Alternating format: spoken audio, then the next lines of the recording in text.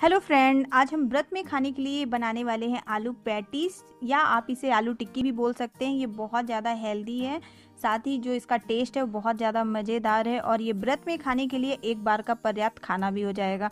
तो चलिए बनाना स्टार्ट करते हैं। तो इसको बनाने के लिए मैंने सारे इंग्रेडिएंट्स लिए हैं। अब एक बड़ा मिक्सिंग बाउल लेंगे, और इसमें दो कद्दूकस की हुई आलू ऐड कर देंगे। आप इसे अच्छे से मैच भी कर सकते हैं। और इसका टेस्ट चटपटा करने के लिए ये एक बारीक कटी हुई हरी मिर्च ऐड कर देंगे और ये बारीक कटी हुई फ्रेश हरी धनिया ऐड कर देंगे। और ये मैंने सेंधा नमक लिया है तो स्वाद अनुसार सेंधा नमक ऐड कर देंगे। साथ ही इसमें एक छोटा चम्मच शक्कर भी ऐड कर देंगे और ये मैंने ऐड कर दिया है जीरा। और इसमें ऐड कर देंगे काली मिर्च का पाउडर एक छोटा चम्मच और ये मैंने फलहारी सिंघाड़ा का आटा लिया है, जिसको आप व्रत में खा सकते हैं और इसको तीन बड़े चम्मच ऐड कर देंगे। अगर आपकी आलू ज़्यादा गीली हैं तो आप आटे की मात्रा को थोड़ा और बढ़ा सकते हैं। तो अब ये सारी चीज़ों को अच्छे से मिक्स कर लेना है। और यहाँ अगर आपको लगे कि आलू जो है वो आपका थोड़ा गीला लग रहा है तो आप इसमें आटा थोड़ा सा और ऐड कर सकते हैं। कभी कभी आलू जो है वो ज़्यादा चिपकते हैं तो इसकी चिपचिपाहट को कम करने के लिए इसमें हम दो चम्मच देसी घी या रिफाइंड ऐड कर देंगे। आप जो भी व्रत में खाते हैं, आप उसको ऐड कर सकते हैं। और ये देखिए, ये हमारी टिक्की का डो तैयार हो गया है। और ये मैंने कुछ बारीक कटे हुए ड्राई फ्रूट्स लिए हैं तो यहाँ मैंने लिया है बारीक कटे हुए काजू मूंगफली के दाने और किशमिश। इसमें थोड़ा सा नमक ऐड कर देंगे। यहाँ मैंने सेंधा नमक ऐड किया है और साथ में थोड़ा सा काली मिर्च पाउडर ऐड कर देंगे और इसको अच्छे से मिक्स कर लेंगे। तो यहाँ अगर आपको और भी कोई ड्राई फ्रूट्स ऐड करना है तो आप ऐड कर सकते हैं। और अब यहाँ इस तरह से हाथ में थोड़ा सा देसी घी या रिफाइंड ऑयल लगा लेंगे चिकनाहट के लिए।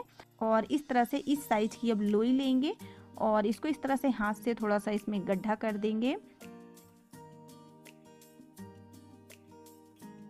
और अब यहाँ एक से डेढ़ चम्मच तक ये ड्राई फ्रूट्स बीच में स्टफ़ कर देंगे, यानी ड्राई फ्रूट्स को इसमें अच्छे से कवर कर देना है और इस तरह से अब लोई को चारों तरफ़ से कवर करके इस तरह टिक्की बना लेंगे।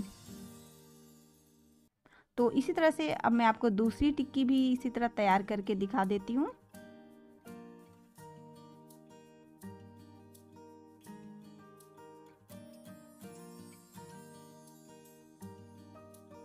और ये देखिए, इस तरह से हमारी दूसरी टिक्की भी तैयार हो गई और हम बाकी की बची हुई टिक्की को इसी तरह से तैयार कर लेंगे।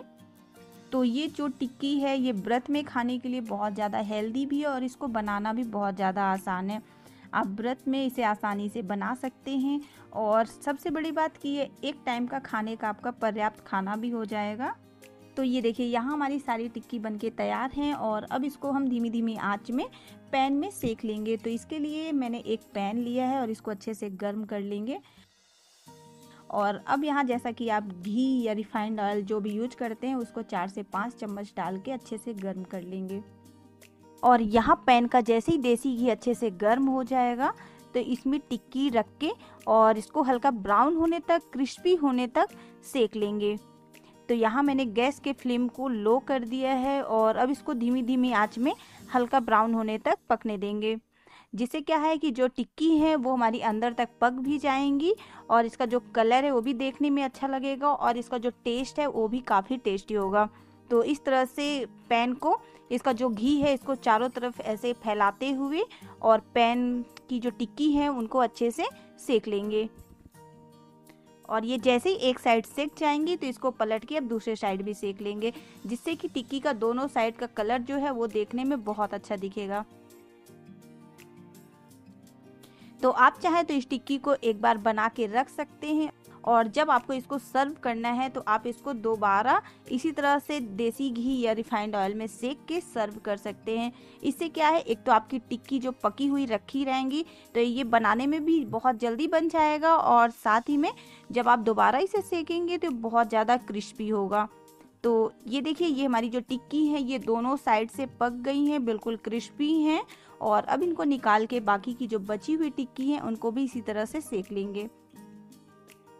तो यहाँ मैंने एक टिश्यू पेपर में टिक्की को रख दिया, जो इसका एक्स्ट्रा ऑयल है, जो इसका एक्स्ट्रा देसी घी है, वो बिल्कुल हट जाएगा।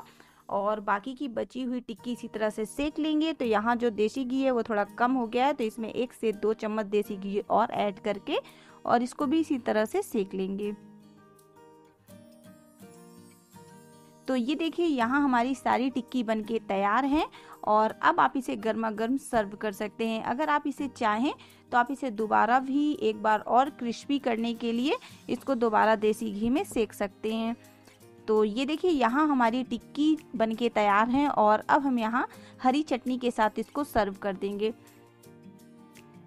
तो यहाँ मैंने धनिया, हरी मिर्च और पुदीने की हरी चटनी के साथ इसको सर्व किया है और इसके साथ जीरा वाला दही है, जिससे कि इसका जो टेस्ट है वो दुगना हो जाएगा।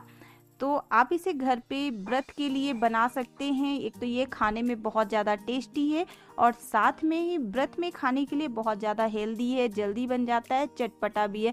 रोज़ रोज़ कुछ अलग खाने का मन करता है जिससे कि आपका जो खाना है वो भी पर्याप्त हो जाएगा और साथ में जो मुँह का टेस्ट है वो भी चेंज हो जाएगा। तो आप भी घर पर ज़रूर ट्राई कीजिए और कमेंट करके ज़रूर बताइए। फिर मिलते इसी तरह एक नए वीडियो के साथ।